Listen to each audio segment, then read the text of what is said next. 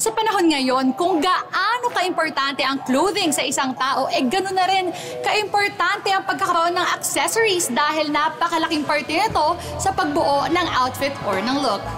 Kaya naman in this episode, hatid namin sa inyo ang mga must-have accessories for both guys and girls. Watch this.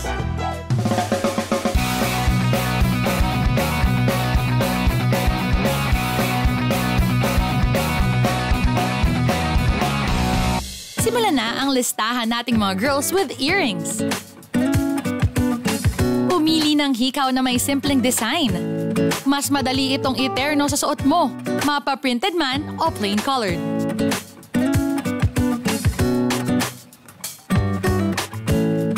Next is statement necklace.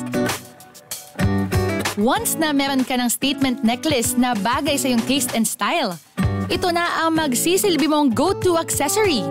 Na kahit ito lamang ang accessory na suot mo, eh makukumpleto pa rin ang outfit mo.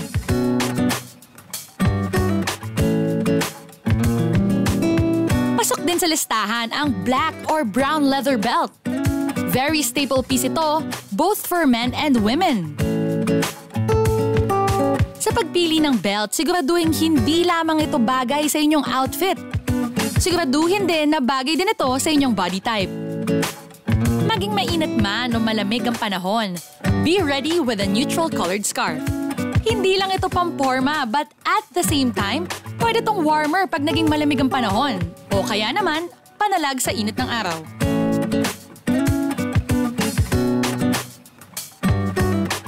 Kung akala nyo tuwing tag-init lang importante ang sunglasses, well nagkakamali kayo. Kabilang ito sa mga item for year-round accessorization. Sa pagbili, piliin ang hindi trend-specific upang magamit ito bilang proteksyon ng mata sa anumang klima o panahon. Tandaan din na piliin din ang sunglasses na bagay sa hugis ng inyong muka.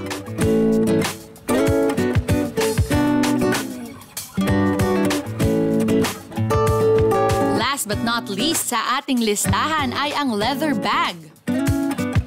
Mahilig man kayo o hindi sa bag, hindi nyo maitatanggi na must-have ang mga ito. Piliin ang bag na may neutral color.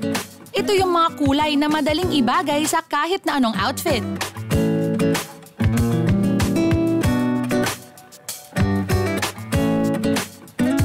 Tulad ng mga babae, regardless of style or age, meron ding essential accessories na dapat meron ang mga kalalakihan.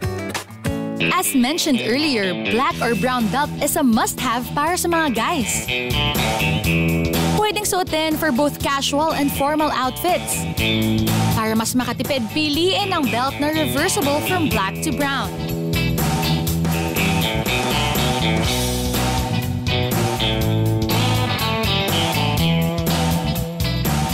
Sunod sa listahan ay wristwatch. Nowadays, sa cellphone na lang tumitingin ng oras ang marami sa atin. Pero wala pa ding tatalo sa pagkakaroon ng stylish and functional watch. Kung hindi ka naman mahilig sa silver, watches with leather straps are also a good option.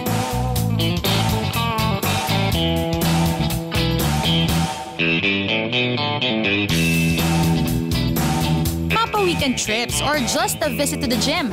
Duffel bags are spacious enough para mabit-bit lahat ng kailangan mo. Kung may sapat na budget, mabuting piliin na yung may water-resistant materials.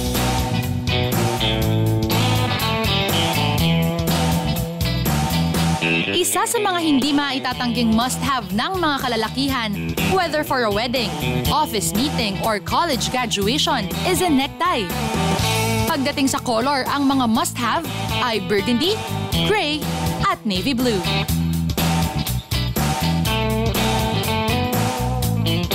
Another accessories that guys should have is socks. Remember guys, sa pagsuot ng dress pants or casual pants, always match your socks with your pants and not your shoes.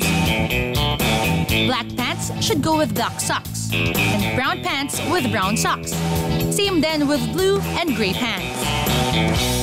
If you're asking when to wear white socks, you can wear them if you're doing sports or outdoor activities like going for a run or going to the gym. Better if you keep them close with your workout clothes and away from your dress-up wardrobe.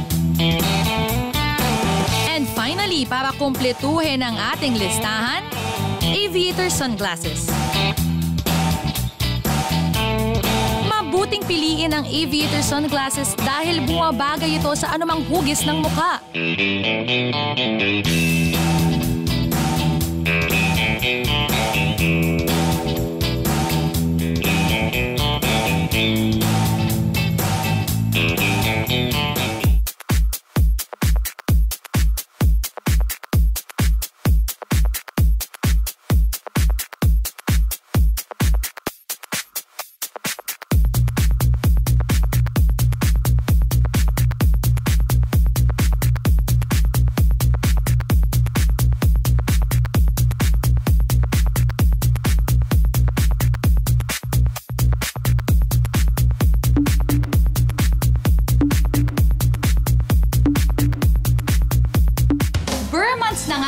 At panigurado, sunod-sunod na ang family reunions, office parties at pati na rin ang bakasyon syempre. Pero mga kabuskada, sa dami ng nakaschedule ng gathering, I'm sure magiging very pricey kung lahat ng yan ay gagastasan nyo pa ng magkakabukod na set of accessories. That's true, Denise.